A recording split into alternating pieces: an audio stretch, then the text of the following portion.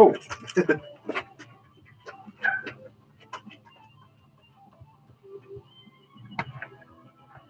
he just took your package. I sat it down and I thought I, I heard a movement and I was shocked. I mean, I thought maybe it was a, a joke at first. Kyle Dorsch, who was home at the time, says the thief wasn't deterred in the slightest by the presence of the FedEx worker or his doorbell camera. I just feel bad. It's a lot of people, including ourselves, who work hard to get the things we have, and for them just to be taken. Near Philadelphia, police are looking for porch pirates dressed as Amazon delivery drivers. Anger, yes, because I wanted a gift for my wife.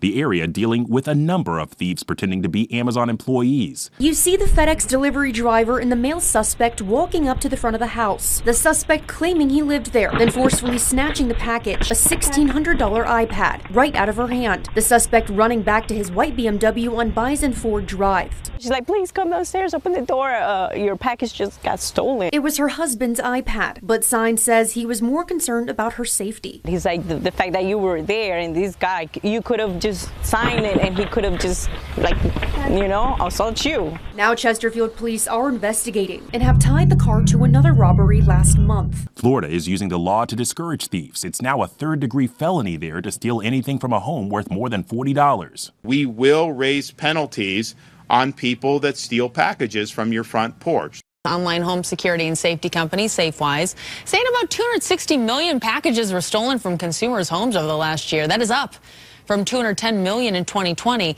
It also adds up to about 19.5 billion dollars in lost value from the thefts. Just recommended that homeowners get texts about the timing of deliveries, have neighbors pick up packages, schedule deliveries when you'll be home, and you can also pick those up from parcel services directly. You know you're on camera, right? Yeah, bring the package to you, man. Yeah, thank you. You can you put it right there, please?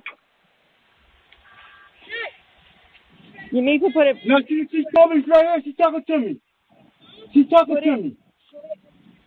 Yes, ma'am. Yes, ma'am. You need to put it back. No, it's right there, man.